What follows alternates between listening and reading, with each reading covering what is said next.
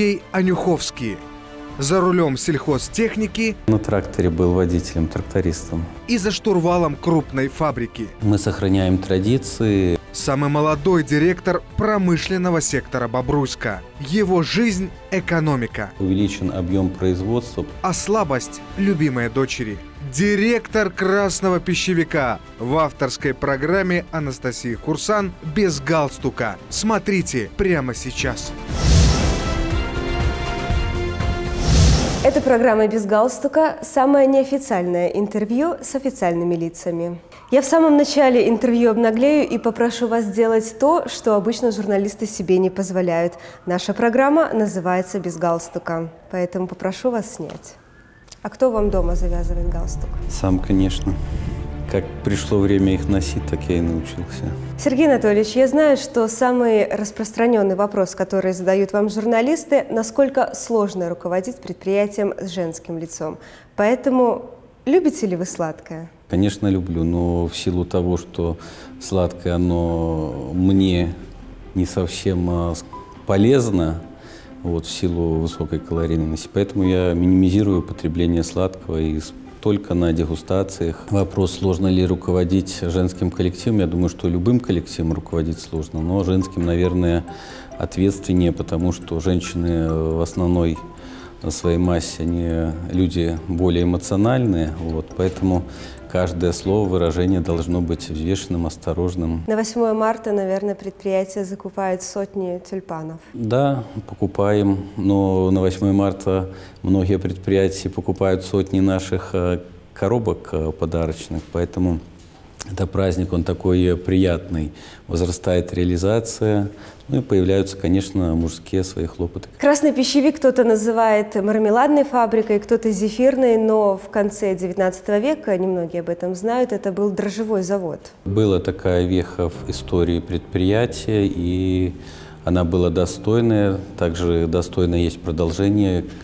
Э, Дрожжевой завод э, в конце концов трансформировался в кондитерскую фабрику, и сегодня это одна из ведущих э, кондитерских фабрик не только Республики Беларусь, но и постсоветского пространства. Первый зефир, насколько я понимаю, начали выпускать еще до революции. Скажите, сейчас это тот вкус?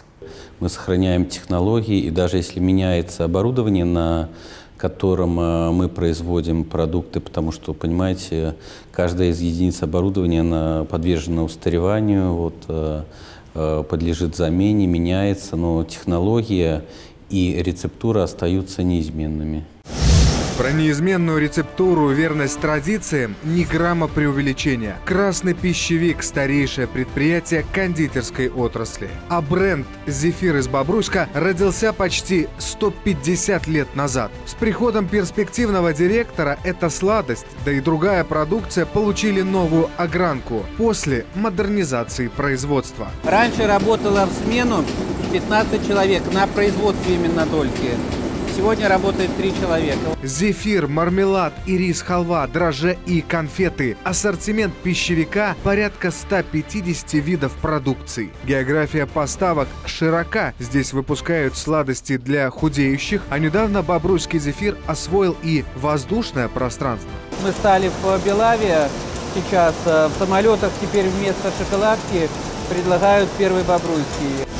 Я слышала, что в советское время по ГОСТам в зефир добавляли больше яблок, яблочного пюре, а сейчас больше добавляют сахара. Это правда? Нет, э, в зефир классической рецептуры, как и в советское время, идет э, около 30% яблочного пюре. Это продукт переработки яблок непосредственный, который без э, кожуры, без э, внутренних э, косточек. Как вообще конкурировать с мировыми производственными концернами? Ритейлеры ведь вправе выбирать, и конкуренция зашкаливает. Как вам удается оставаться на плаву, и кто ваш первый конкурент? Белорусский потребитель, он прежде всего доверяет качеству, потому что мы все понимаем, что российские производители и много было случаев и есть подтвержденные, мы вынуждены обращаться непосредственно в госстандарт. Концерн Белгоспищепрома не соблюдают э, рецептуры, не соблюдают э, составы. Вот. Мы их э, постоянно, эту ситуацию мониторим, мы проводим закупки, вот, обращаемся в контролирующие органы, если где-то есть нарушения, ну и приучаем тех же российских производителей к тому, чтобы порядочно себя вести на рынке. Это чревато большими проблемами, если начинать хитрить с рецептурой. Поэтому прежде всего я считаю, что наши стабильные продажи на белорусском рынке остаются благодаря качеству выпускаемой продукции, это первое, и доверию потребителя, которое наработано уже годами, активные дистрибуция. У нас э, прекрасная торговая команда. Кто все же является главным конкурентом красного пищевика? Если брать по качеству выпускаемой продукции, при по преподнесению на рынок, э, то это российский производитель «Ударница». После вашего прихода предприятие было значительно модернизировано. Какие планы в этом направлении э, у завода? В 2018-2019 году мы хотим возродить э, производство пастилы, которое в конце 80-х было прекращено. Это будет производиться на территории нашего предприятия. На, во втором цеху мы установим новую линию. Но помимо этого мы развиваться будем не только на территории города Бобруйска. В ближайшее время мы зарегистрируем предприятие, это будет «Красный пищевик Славгород». И на данной площадке 18-20 год э, мы организуем производство мармеладных изделий.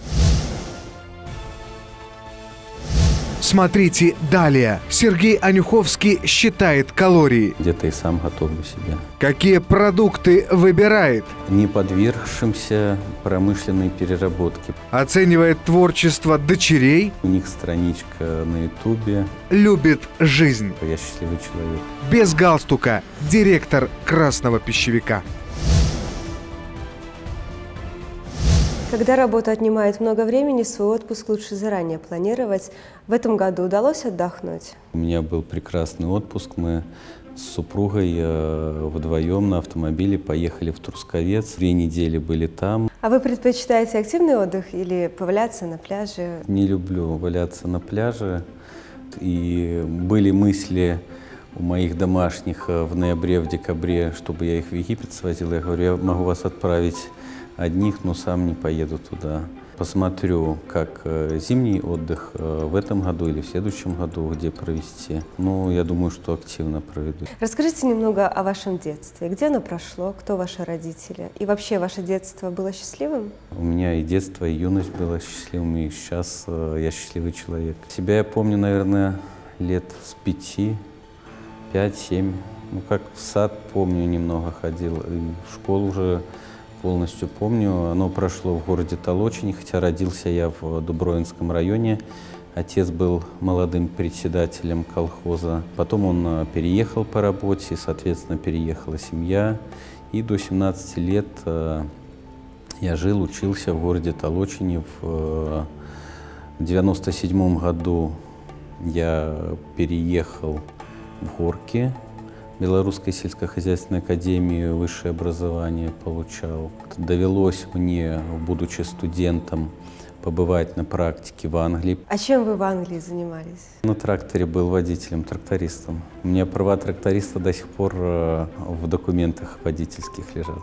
Два трактора Ford был, он был постарше, и John Deere был э, современный трактор, э, европейский, удобный, комфортабельный. Тягал трейлер, который транспортировал э, продукцию. Это были салаты с поля до фабрики, до холодильника, где они охлаждались, обрабатывались и дальше шли в торговые э, предприятия. То есть что вы профессии обеспечены? Я могу на погрузчике работать. Кроме экономики, чем еще увлекаетесь? Расскажите о своих хобби. Когда есть погода, я люблю покататься на велосипеде, либо прогуляться пешком.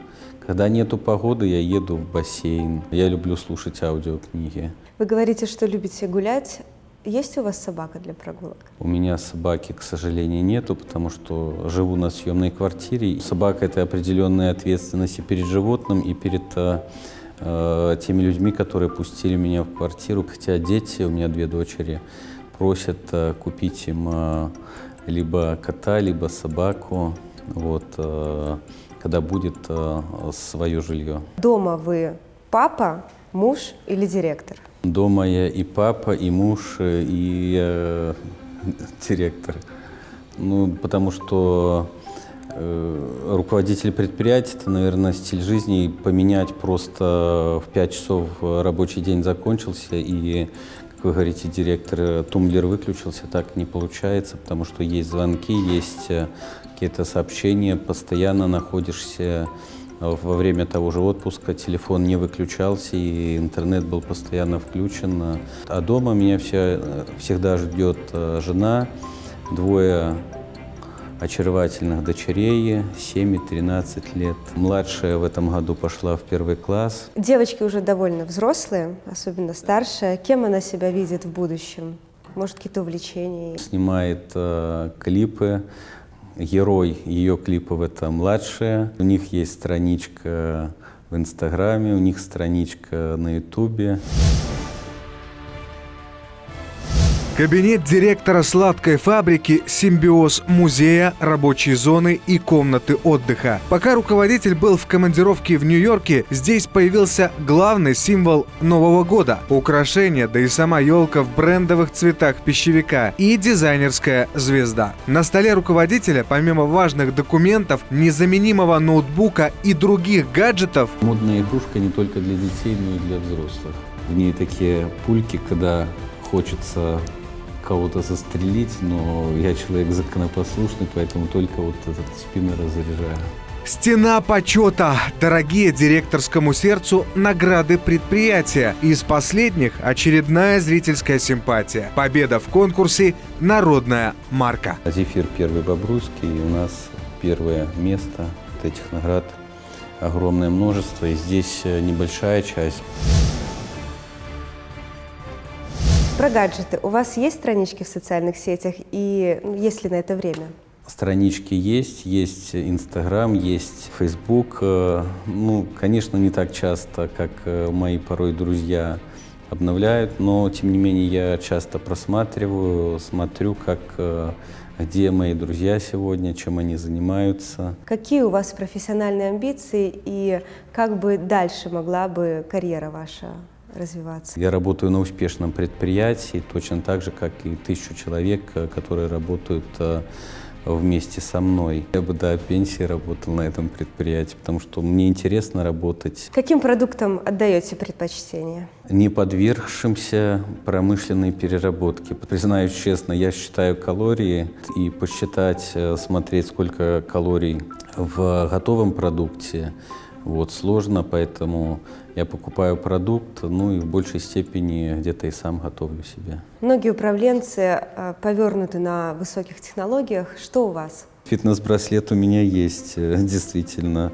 Он считает шаги, он считает пульс. Где вы одеваетесь? В магазинах э, в Бобруйске, в Минске, бываю за границей, если есть время, там посещаю. Конечно, в рабочее время это костюм, а тот же галстук, белая рубашка должны быть. Но в нерабочее время, э, либо где-то в командировке, когда перелеты, конечно, комфортнее одеть джинсы, одеть э, что-то легкое. Для себя я одежду покупаю сам. Мне трудно что-то навязать. А как в вашей семье принято отмечать праздники?